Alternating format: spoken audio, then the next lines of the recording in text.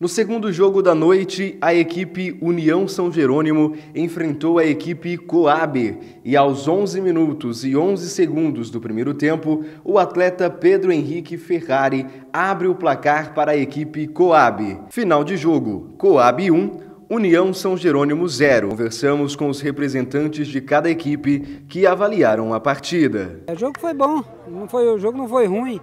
É, eu acho que só precisa mais, é, quanto à questão tanto da mesa como dos árbitros, eles explicar melhor. Não que a gente não entende, mas tem hora que você fica perdido, tanto meu jogador como o jogador adversário. Eu não concordo com algumas faltas igual essa aqui, era meu adversário, mas sem explicação a gente vai ter uma hora que a gente não joga mais futebol, porque tudo é, é motivo para.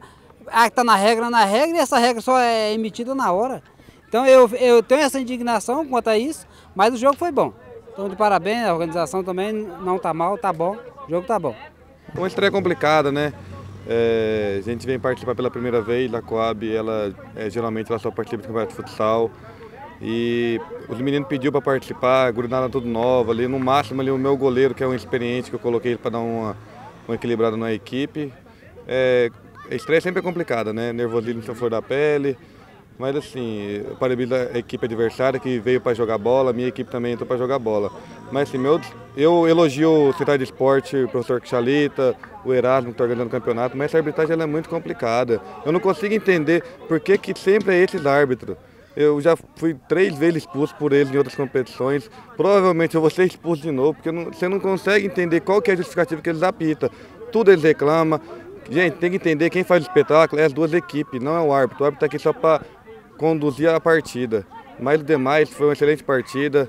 Campo molhado complicou um pouco os meninos da minha equipe para jogar o jogo, mas graças a Deus a gente saiu com a vitória.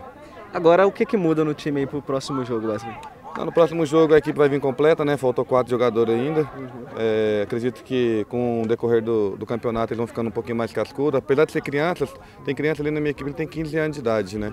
E como eles não estão acostumados a jogar society, só futsal, eles com o decorrer da competição vai ficando mais cascudo. A gente colocou eles pela primeira vez para pegar uma, um, um, uma experiência. Uhum. Mas claro, né, o objetivo sempre é o mesmo. Né? Mas eu acredito que com o decorrer da competição a equipe vai cada vez se fortalecer mais e a gente vai poder brigar pela parte de cima.